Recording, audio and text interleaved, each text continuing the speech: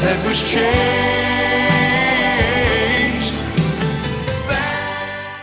Hello, I am Darryl Johnson, uh, ecclesiastically known as Bishop Darryl Johnson. I'm the senior pastor of the Glad Tidings Church Incorporated in Birmingham, Alabama. Uh, if you're receiving this video today, um, either a member, a supporter, or myself are sending you this video uh, for our urgent ministry mission task in mind. We want you to help us with this. We're asking for your help to purchase a ministry center. And I have some purposes written down that our ministry center would be for. If you allow me to read those to you just a moment. Uh, the purpose of our ministry center would be to provide a free and discounted food distribution program for households in need. Also, to provide a free drinking water distribution program for households in need.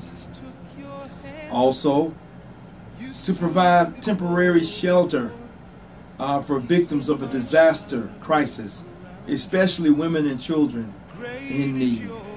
To provide and a discounted first and second hand clothing program for persons in need of those items. To provide a free and discounted health clinic for persons in need of medical attention, and that health clinic would be run by a certified nurse practitioner.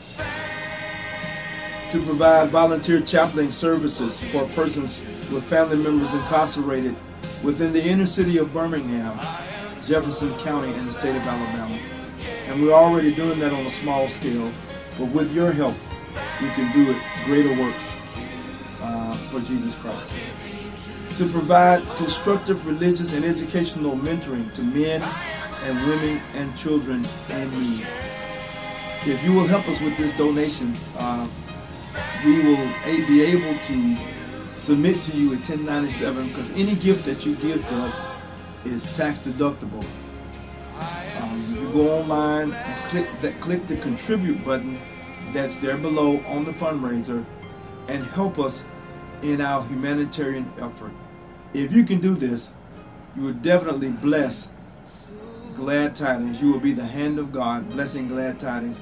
And of course, black Glad Tidings in turn can bless you. May you have a blessed day.